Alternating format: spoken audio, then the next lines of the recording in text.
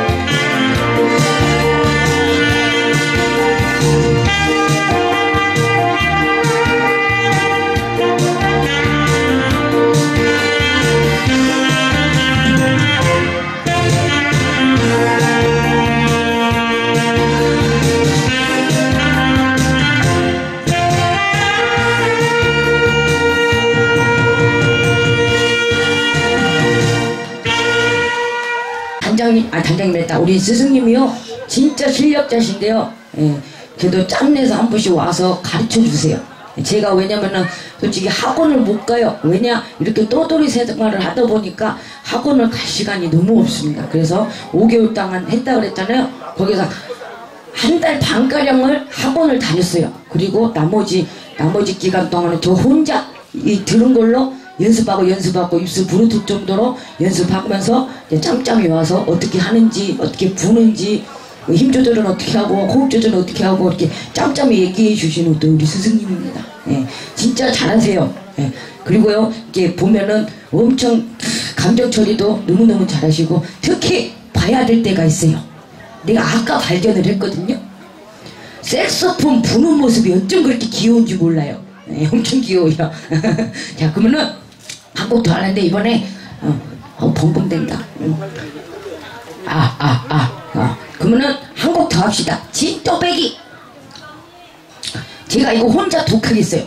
이거는. 진짜 나 혼자 독하게 갖고 이게요. 제일 어려운 점이 뭐냐면요. 안 보이는 데가 엄청나게 바쁜 곡입니다. 진또배기. 안 보이는 데랑 이 하는 거예요. 혀. 이게 음정 하나하나 끊어주려면 엄청나게 바쁘거든요. 그러니까 열심히 어, 혓바닥 음정 볼 테니까 우리 여러분들은 예, 한 번도 빠짐없이 박수 많이 쳐주시면 됩니다. 아시겠죠? 준비하는 동안 한 곡 더 하고 하도록 하겠습니다. 네. 자, 그러면은 지도배기 한 곡 더 가도록 하겠습니다. 차렷 경례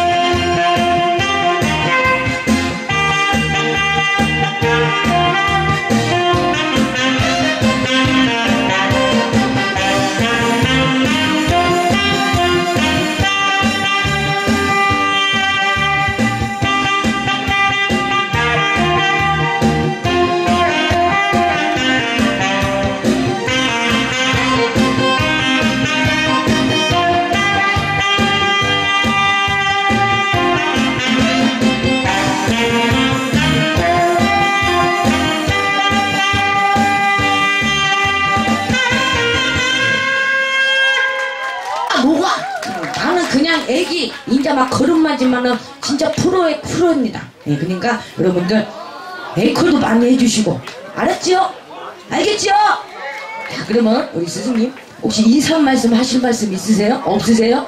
어, 꼭 여기 나오면 이렇게 습기가 없어진다 자 그러면은 우리 무대 위로 올라오세요 혹시 이 자판이 안 보여서 그래요? 아, 보이시죠? 네, 우리 스승님께 열심히 잘해주라고 박수 함성 부탁드립니다. 네. 아, 예, 켜졌습니다. 갑시다.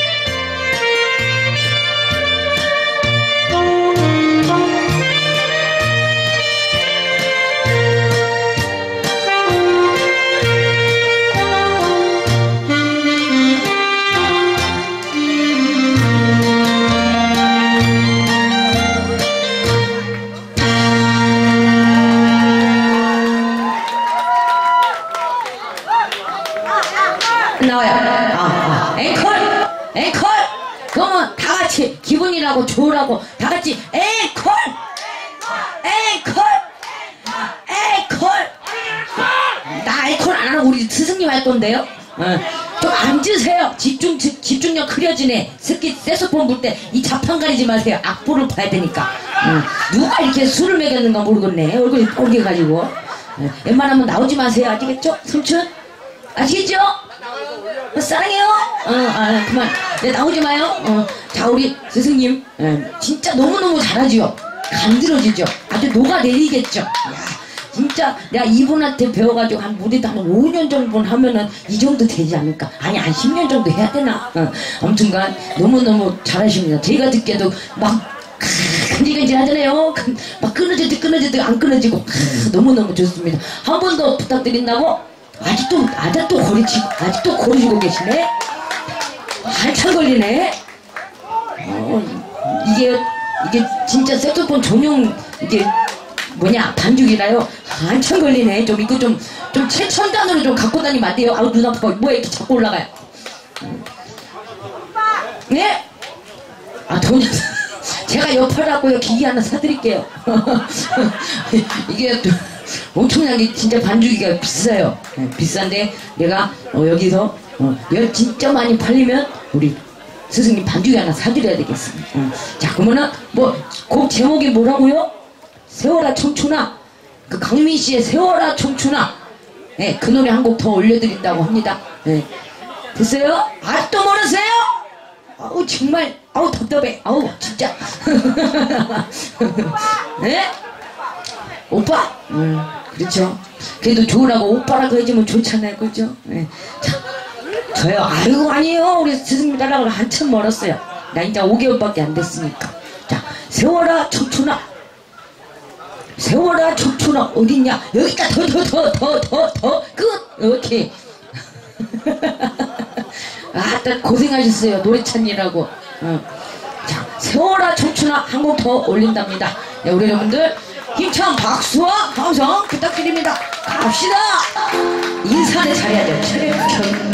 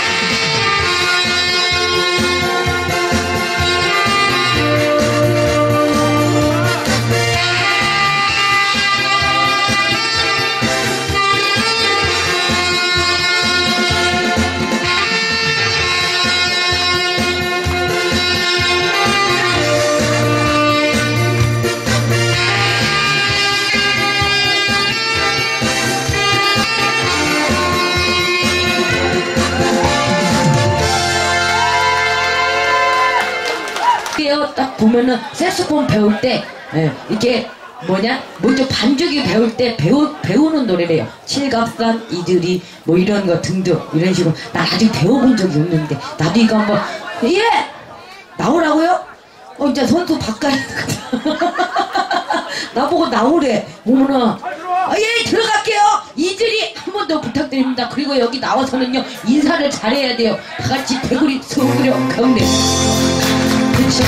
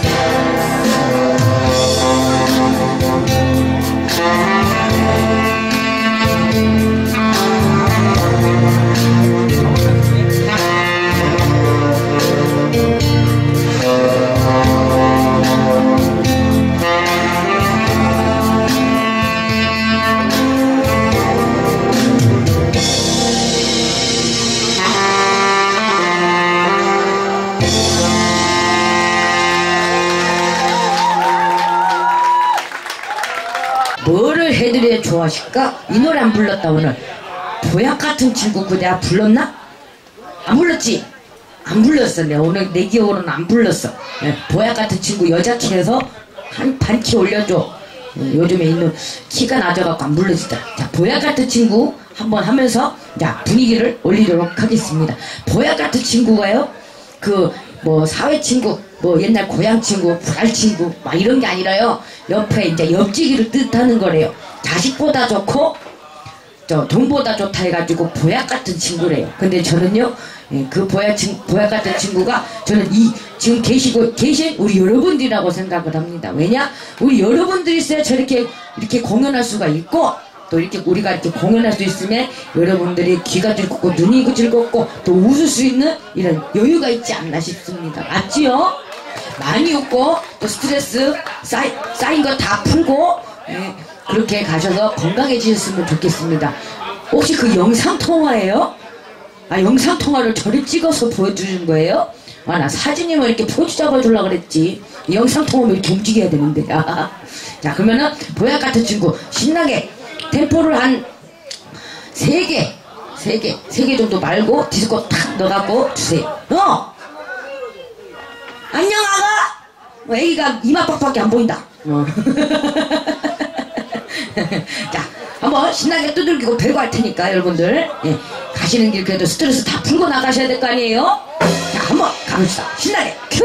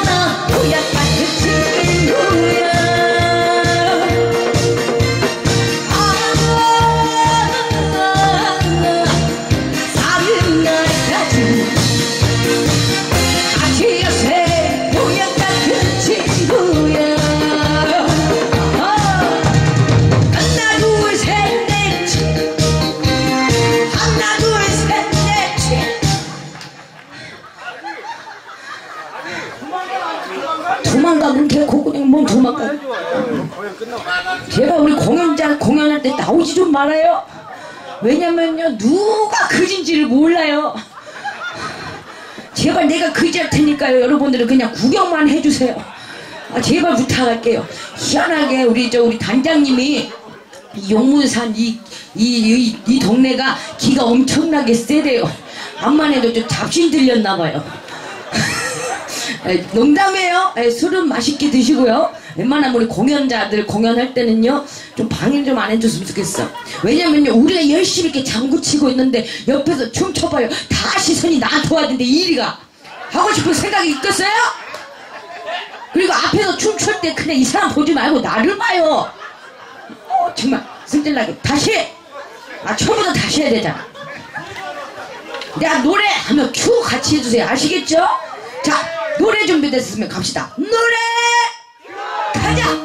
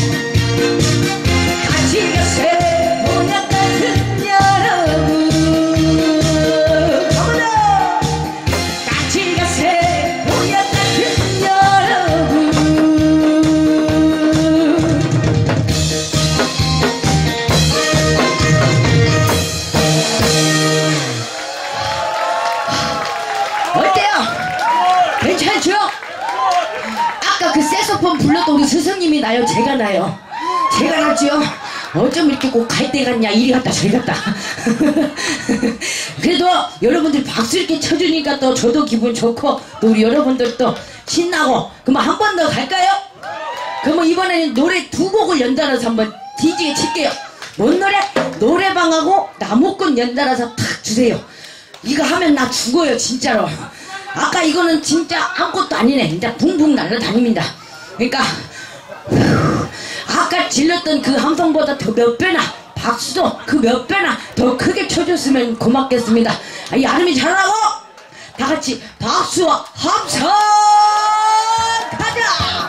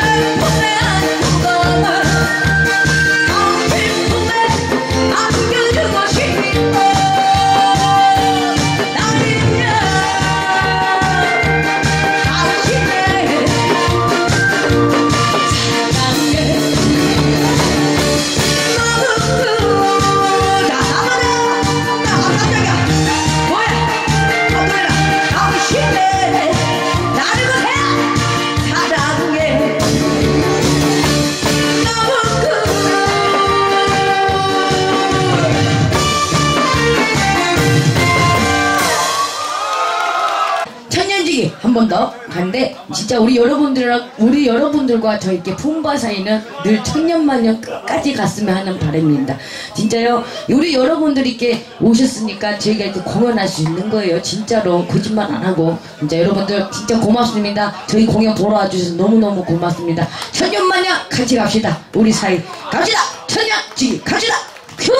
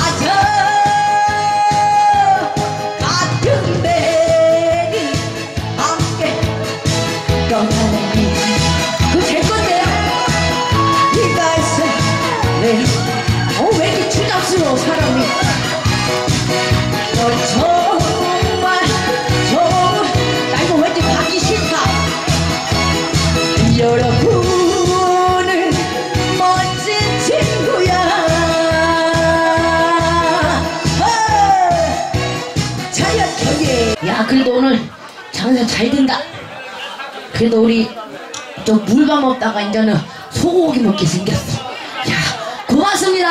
야, 여러분들, 야, 이렇게 많이 구매도 해주시고 너무너무 감사합니다. 이제는 진짜 제쇼, 마지막 제쇼, 쌍장구 한번 올려보도록 하겠습니다. 진짜 부탁인데요. 술 자신 분들, 우리 아버지들,